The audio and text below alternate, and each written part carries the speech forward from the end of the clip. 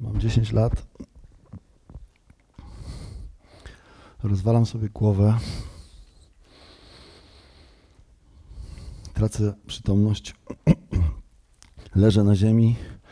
Wykrwawiam się. Budzę się. Nade mną twarze dzieciaków, które patrzą na mnie. Podnoszę się. Wstaję. Pcham mój biały pelikan rower. I zbliżam się do domu. I coraz bardziej się boję. Wchodzę do klatki. Znoszę rower do piwnicy resztką sił. Cały czas spływa ze mnie krew. Ledwo widzę na oczy. Chowam rower pod schodami, żeby mój ojciec go nie zobaczył.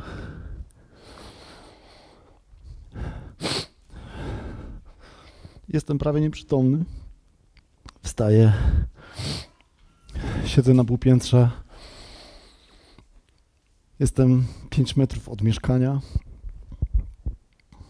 Ledwo widzę na oczy, krew zasłania mi obraz. I cholernie boję się przyjść do domu. Idzie sąsiadka, chwyta mnie za rękę i mówi: Przemek, co ci się stało? Zaprowadzam cię do domu. Otwierają się drzwi. Widzę przerażoną twarz mojego ojca.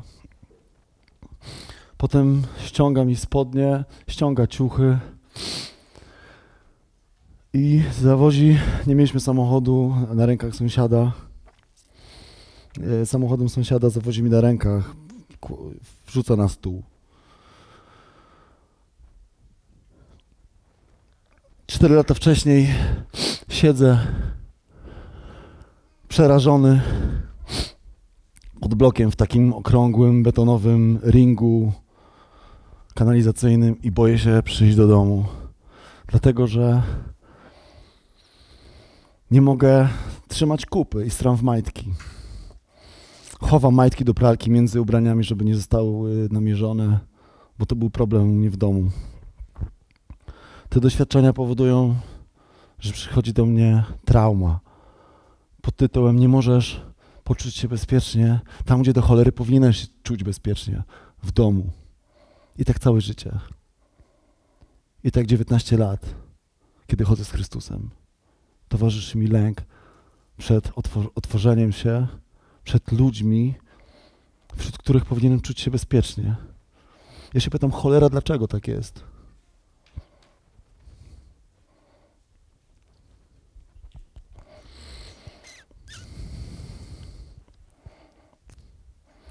W zeszłym roku postanowiłem zbudować małżeństwo. Było do dupy. Zacząłem komunikować z moją żoną. Siłą rzeczy zacząłem komunikować ze sobą. W czerwcu od rana 6 godzin wychodził z mojego mózgu mocarz pod tytułem Nie możesz czuć się bezpiecznie. Żygałem, wyłem z bólu. Nażarłem się tabletek, przerwałem mój codzienny trening na basenie, co tłumaczy moją nieprawdopodobną muskulaturę, nawiasem mówiąc. Puściło. Poczułem się dobrze, lekki. Artur powiedział mi, że wyszedł demon z mojego mózgu. Sześć godzin wychodził. Szedłem i płakałem obok Elżunia teściowa, moja żona Ania. A ja szedłem i wyłem przez okulary i myślałem sobie, jak ja bym chciał tak jak Chrystus, puścić to i wyć po prostu, wyć, puścić to. Wróciłem do domu, odospałem to wszystko i żyłem z dziurą, dlatego że mocarz był spory i zostawił sporą pustkę. I nic z tym nie zrobiłem. Nic z tym nie zrobiłem.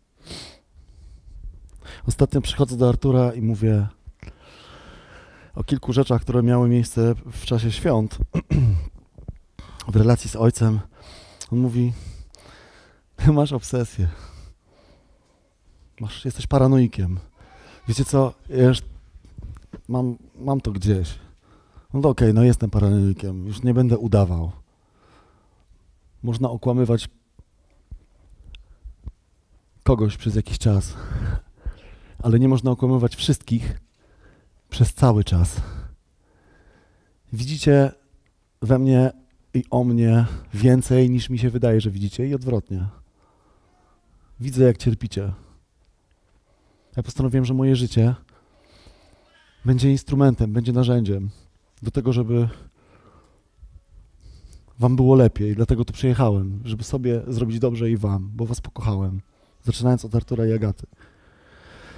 Więc jestem paranoikiem. Mam natręctwa. Wszystko mi jedno. Artur mówi, to jest twoja ostatnia batalia przed staniem się mężczyzną. Mówię, okej, okay. chcę się stać mężczyzną.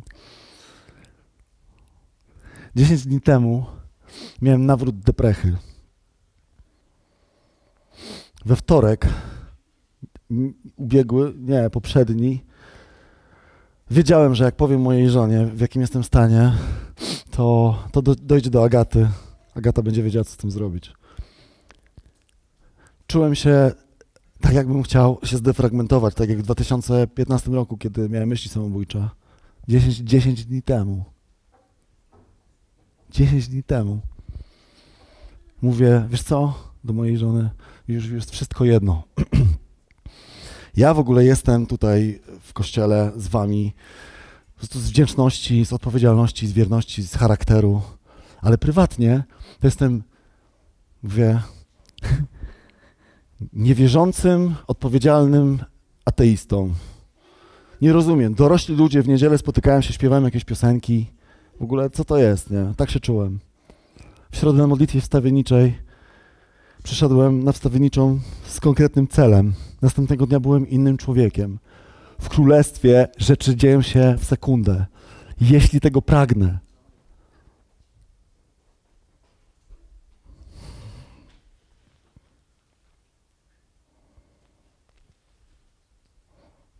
Bywam perfekcjonistą,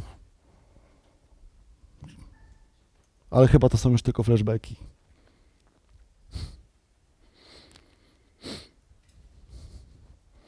Proszę Was o jedną rzecz. Nie róbcie tego, co ja robiłem całe życie. Leczenie objawowe. Nie istnieje coś takiego. Cały system tego świata to jest leczenie objawowe. Fantazje zastępują marzenia. Rozrywka zastępuje radość.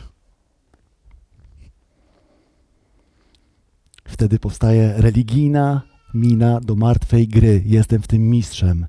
Ja, mając 10 lat, nauczyłem się systemu samozachowawczego, ukrycia przed wami. Nie mam nic do ukrycia. Mam w dupie system samozachowawczy, dlatego stoję przed wami. Ja widzę, w jakim jesteście stanie wielokrotnie. Jonatan, kocham cię, przypominasz mi siebie sprzed paru lat, stary. Weź to, co mówię dzisiaj.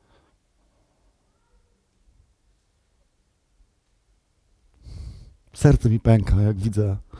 Bo ja wiem, jak wielu z was cierpi. Ja postanowiłem przestać cierpieć. Przecież jest szalom.